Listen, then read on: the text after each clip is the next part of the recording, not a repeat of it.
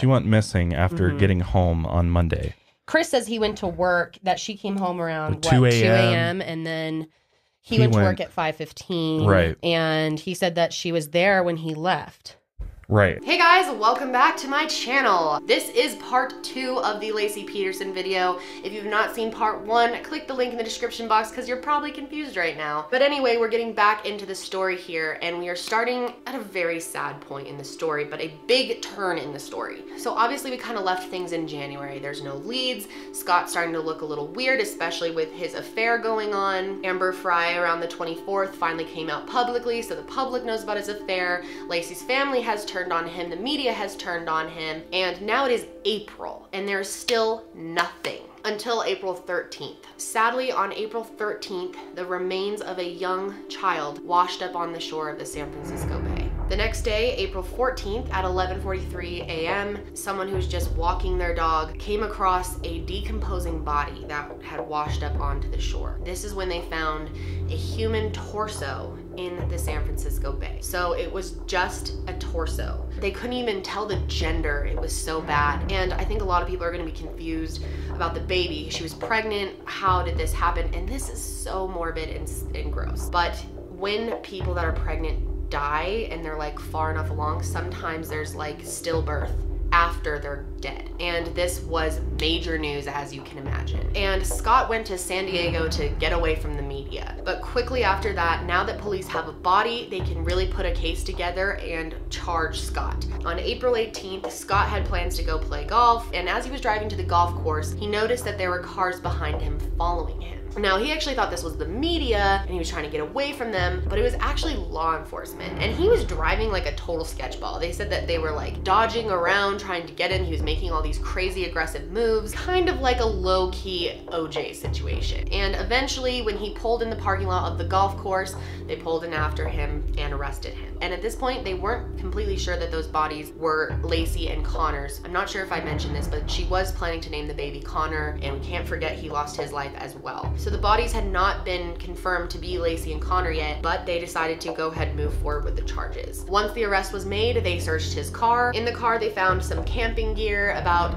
ten to fifteen thousand dollars in cash, his brother's ID, and not only that, he also had dyed his hair like this weird brassy blonde and had like new facial hair. So people started to think, was he headed to Mexico? I mean, San Diego is pretty close. And later that day, the DNA test came back that this actually was Laci and Conner. East Bay Park authorities uh, discovered two bodies. There is no question in our minds that the uh, unidentified female is Laci Peterson. The unidentified fetus is the biological child of Laci and Scott Peterson. And they said that when they told Scott, his emotions were really weird. He didn't even shed a tear. On the drive back, we got the phone call that verified that this was Laci and Conner. And Scott made this kind of little sniffle. And we continued to drive not too far. Today we're gonna, you know, get a bite to eat here in a little while. If you're hungry, we'll get you something to eat. In and out. I'll have a double double with cheese, a small fry, and a vanilla shake. And when Scott finally arrived to the prison, there was already a mob around the jail. At this point, pretty much everyone believed that Scott Peterson was guilty. I mean, especially the fact that she turned up where he was spending his day. On April 21st, Scott had his arraignment and went into jail. And they gave him two murder charges, one for Laci and one for their unborn son. So now Laci's family is obviously switching gears. They are no longer looking for Laci, they are trying to get justice for her. After her body was found, her house was just covered with flowers and cards and candles. I mean, people just felt so, so disgusted. And I think a lot of people were holding out hope that she was still out there somewhere, and this just crushed everyone. So Scott ended up hiring a private attorney named Mark Garagos. We're not into arguing reasonable doubt in this case. We've set the bar extremely high. And that's to prove that Scott is not only factually innocent, but to figure out exactly who it is did this horrible thing to Scott's wife and to Scott's son and to their grandson. And when he started, it was quite the job because there were over 30,000 pages of like various documents related to Scott in the Laci Peterson case. They looked through Scott's whole history going all the way back to elementary school, and they weren't able to find any instance of Scott committing a crime or being bad. I mean, people seemed to really like him. His parents said he was just such a good kid. He loved to hug and, and kiss and uh, very affectionate, Just, just a really kind, you know, sweet little guy. Never in trouble of any kind. He was too good to believe, almost. Scott's parents have gone public saying that they believe that the police here bungled this investigation.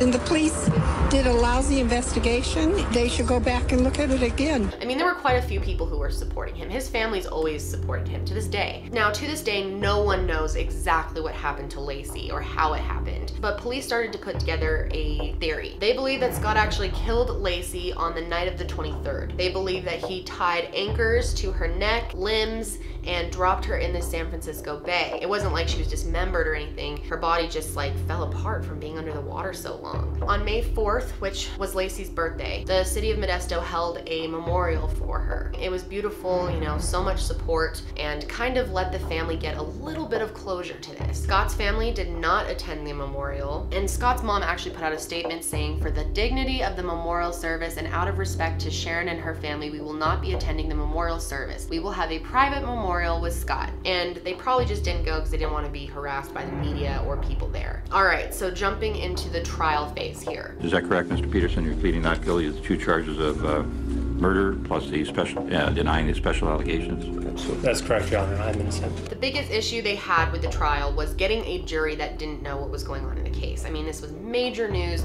People had major bias against Scott, and they had to find people that didn't have any bias at all. So they moved the trial to Redwood City. And Redwood City is closer to San Francisco than Modesto, and San Francisco is like the media hub for California, so it made it easier for reporters. It was difficult. Like, even there, 50% of the people who they interviewed admitted that they thought Scott was already guilty. And then they had a lot of issues with people lying, like knowing that if I say I think he's guilty, I'm not gonna get in. And they definitely had bias against him still, but kind of were, you know, trying to mask that. So it was a really difficult process. So June 1st, 2004, the trial began. Now there were no cameras in the courtroom, which is unusual. A lot of high profile cases have cameras, Casey Anthony, OJ Simpson, but there were no cameras in this case. And the prosecution basically said that Scott's motive would have been to not be tied down anymore, didn't want to have a child, maybe wanted to be free to date other women or start a serious relationship with Amber. So one of the biggest witnesses in this case was someone that they brought in on the defense side. And this was a computer forensic analyst. And he claimed that at 8.40 a.m. on December 24th, when Laci disappeared, someone was on the Peterson home computer looking at sunflower umbrellas and women's clothing. Now, Laci loved sunflowers, so a lot of people thought this was probably her, unless it was Scott pretending to be her. But this was a really big deal because this, if it's true and that was Laci, it would completely discredit the police's theory of her being killed the night before because it shows that she was awake and doing stuff that morning. And a lot of people bring up the argument that if Scott really did get on the computer trying to make it look like Laci was on, why wouldn't he have brought this up? Like, she was on the computer, look, here's proof. You know, it doesn't make a lot of sense. So the timeline's now starting to get really fuzzy, and basically it would mean that if Laci was on the computer, Scott would have had to kill her like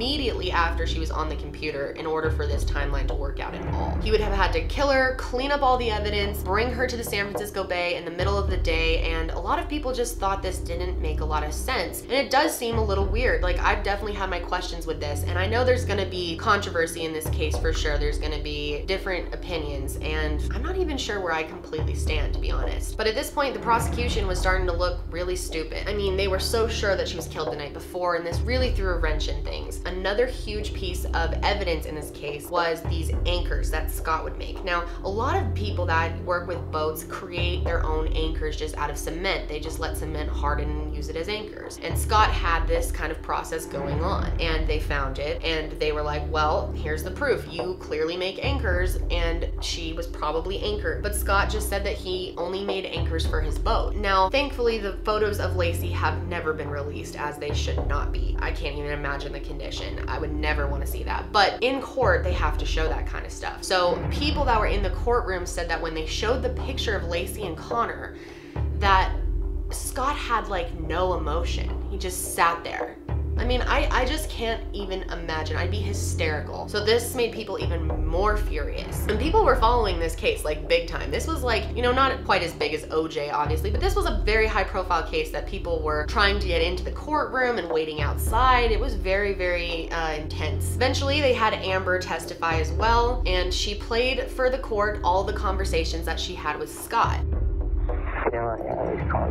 Tell you you're special. Voices of Scott Peterson and Amber Frey filled the courtroom today when prosecutors played audio tapes of lengthy conversations the two shared in early January of 2003. You know, what really struck me in listening to those tapes is how little Scott Peterson cared about his wife and child. You know, in my mind, we could be wonderful together and I could care for you in any and every way.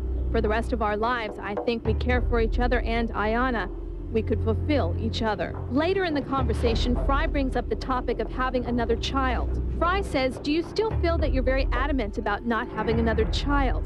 Peterson says, Oh, I wouldn't say adamant, but it's not in my thoughts currently. At this point, Peterson's pregnant wife Laci had been missing for eight days. During their conversation the next day, Peterson tells Frey he took a train to Brussels. He complains of being tired because his day was very long and boring. He also complains of having a sore hip Peterson says he fell while he was out jogging on a cobblestone street. Now these calls prove to us that Scott is a big liar. I mean, it was just so bad. Honestly, I'm not sure what would have happened in this case if she wasn't part of this. Another big moment in this trial was when Scott's attorney, Mark, showed everyone how it would be impossible to throw a body off the side of a small boat. Mark actually bought a boat that was really similar to Scott's, and he had someone try to throw a 100 pound weight off the boat, and every time that they did it, it like four times, the boat tipped. So they basically made the argument that it would have been impossible in Scott's boat to throw that body. So back when they were searching for Laci, they used a search dog. And the dog's handler actually testified that the dog was acting really weird when they got to Scott's dock, that he picked something up. Now this also didn't look good for Scott, but they found out that the dog actually had failed its certification test to be doing this. So this makes the dog illegitimate and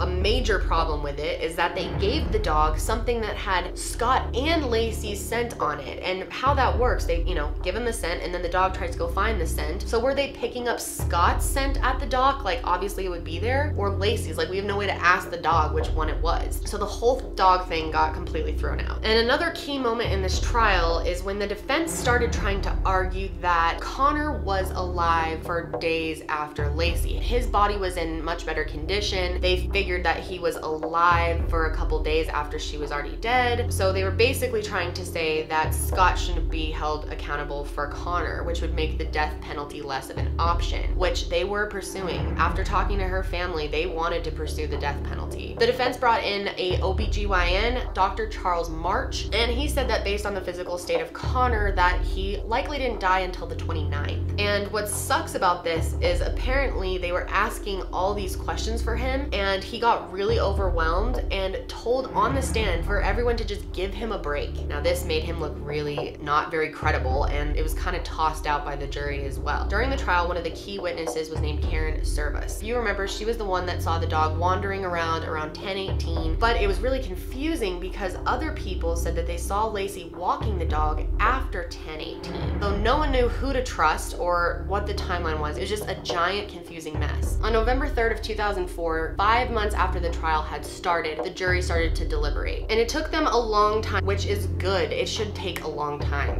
You can look at it one of two ways. Either they say the prosecution didn't prove it, or, of course, he's the one that did it, and we're going to find him guilty. We'll find out in a matter of moments. The verdict finally came on November 12th, 2004 at 1.30 p.m. The verdict in the Scott Peterson murder trial is finally in. We, the jury in the above entitled cause, find the defendant, Scott Lee Peterson, guilty of the crime of murder of Laci Denise Peterson in violation of the Penal Code Section 187A, as alleged in count one of the information filed herein.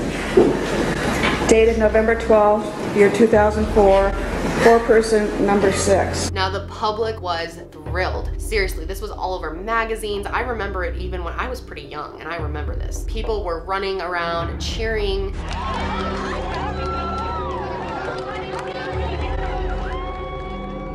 That comes with death penalty or life without parole. Guilty of second degree murder with regard to his unborn child, baby Conner.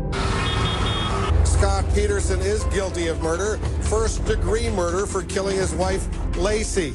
And he's guilty of second degree murder for killing their unborn son, Conner. Three or four of her friends, of course, her father, her mother, her stepfather, her brother, her sister, all sitting in the front row. Petersons were there, but uh, Lee Peterson was noticeably missing. Scott Peterson's father, also defense attorney Mark Garagos, was not in the room. Apparently, he is down in Southern California on attending to some kind of business or on some other cases. But when they came into the room and announced that verdict, immediately the side of the room with the Rocha family, Laci Peterson's family, and friends erupted into tears and just cries of relief.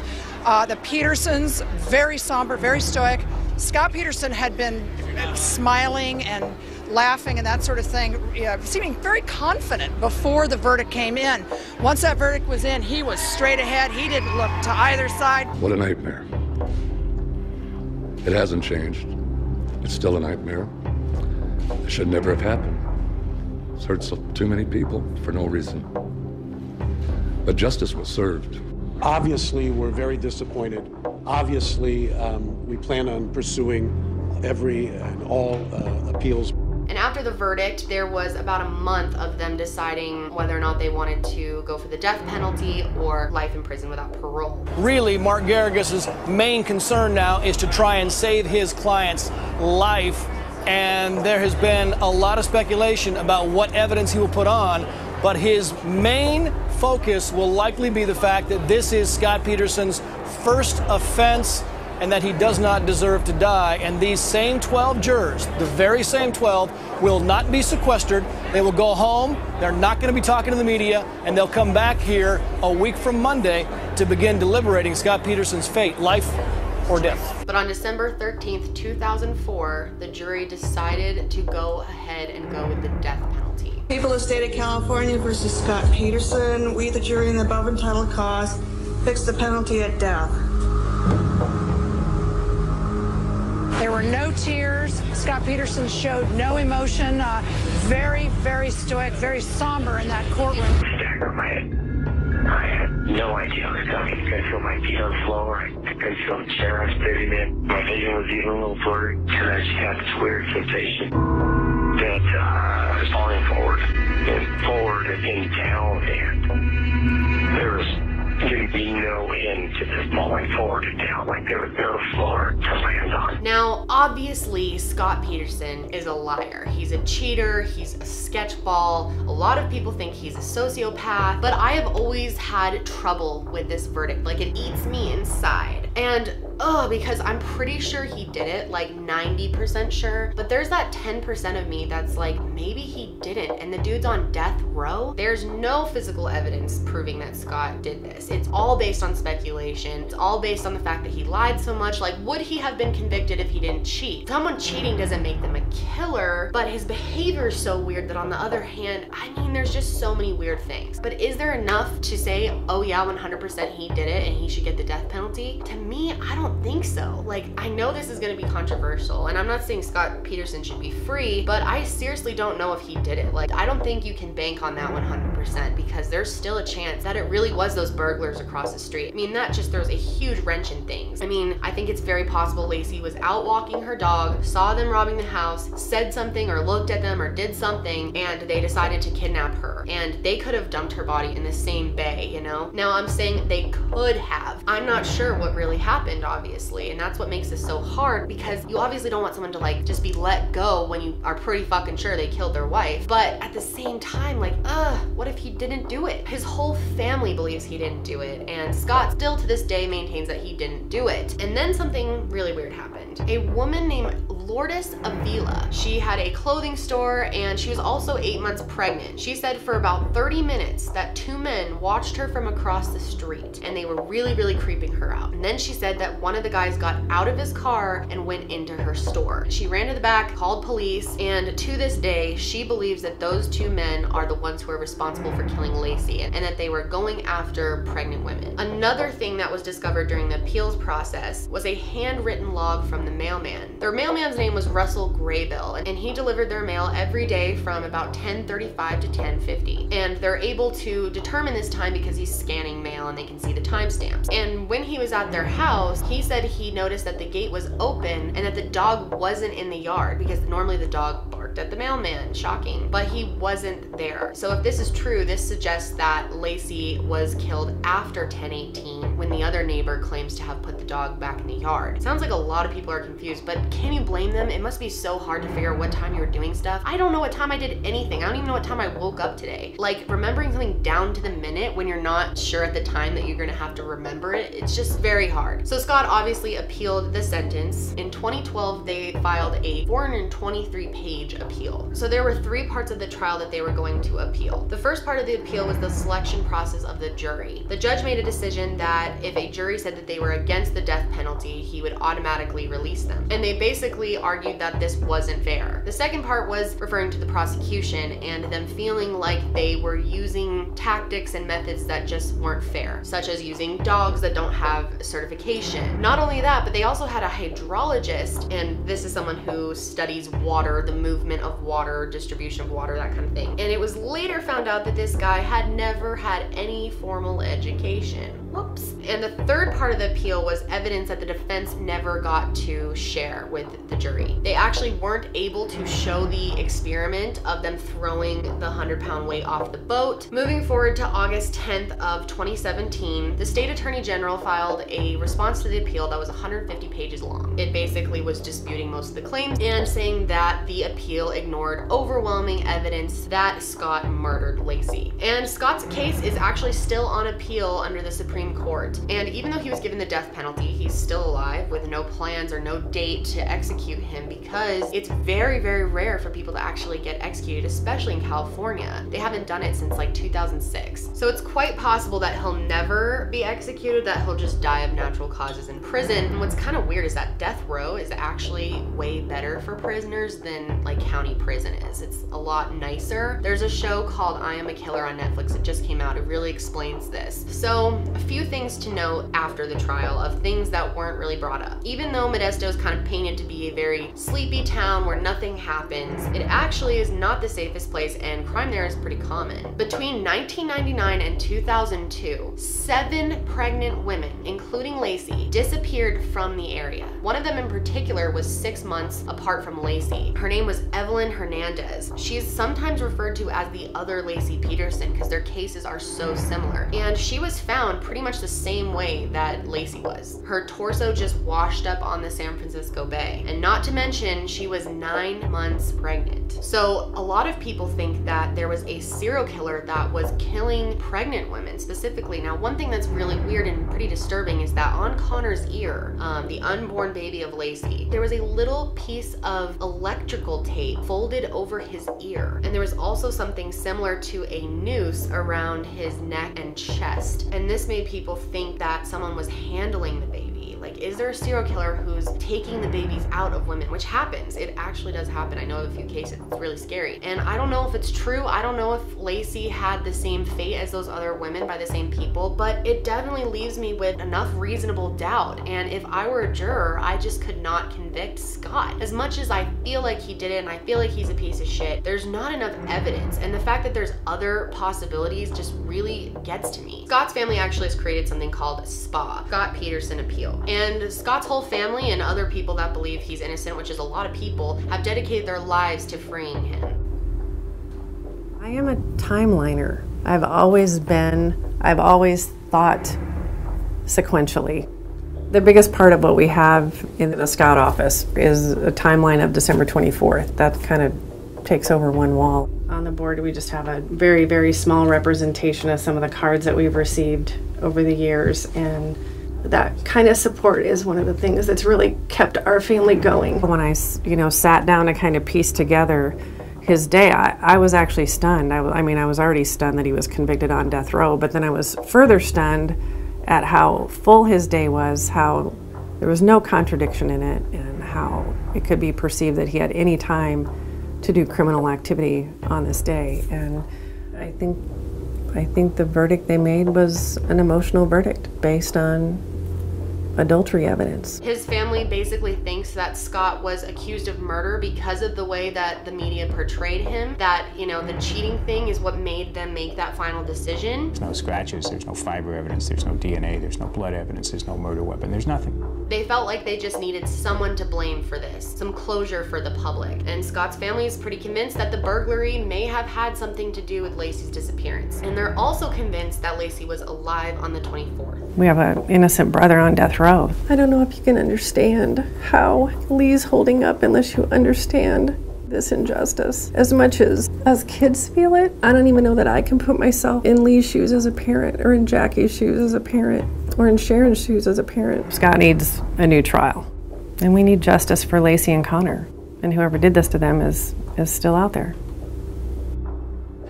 Scott Peterson murdered my daughter and his unborn child.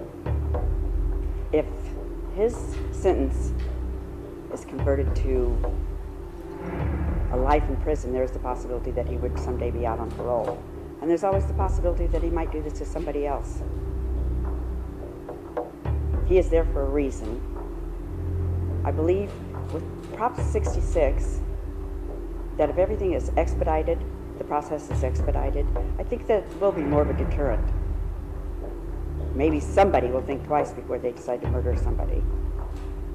And the victims of all of these killers need to have justice. So this leaves me so confused. I want to know what you guys think. I hate even saying out of my mouth that maybe Scott isn't guilty because for so long I just was like, slam dunk, he is. Until I got older and I learned more about, you know, the jury system and court and just what you need in order to convict someone. And I just have trouble with the fact that this guy's on death row and there's just not enough evidence that he did it. I'm sure a lot of you out there are dead set that Scott did it and I'm like 90% with you. There's just that 10% of me that's like, maybe he didn't. So I wanna know what you guys think. Do you have any thoughts on this? Do you think Scott's innocent? Do you think he's guilty? Well, there's innocent and guilty and then there's like court innocent and guilty, you know? Like you can think someone's guilty and not have enough to give them a guilty sentence. What do you think happened? What do you think should have happened in court? And what do you think about Scott appealing this or the death penalty? I wanna know your guys' thoughts on this because I know it's gonna be very controversial. This case really gets to me. It's kept me up so many nights. It's just one that I've followed for so long and it drives me completely nuts. I just wanna say, you know, my thoughts go out to Laci's family. I'm not sure they'll ever see this. I'm sure they're so sick of hearing about it, talking about it. They've pretty much stayed out of the media and I don't blame them at all. But I'm just so, so sorry for them. I feel just terrible. This beautiful woman, such a nice woman, was taken from them, especially carrying their first grandchild. I mean, it's just heartbreaking and I think about them all the time. I really, really do. But that's all I have for you guys. I hope you enjoyed this double feature. Be sure to give it a thumbs up if you did and you want to see more two-part videos. That is all I have for you today, guys. Be sure to let me know your thoughts and I will see you next time. Where'd you go? Seems like it's been forever.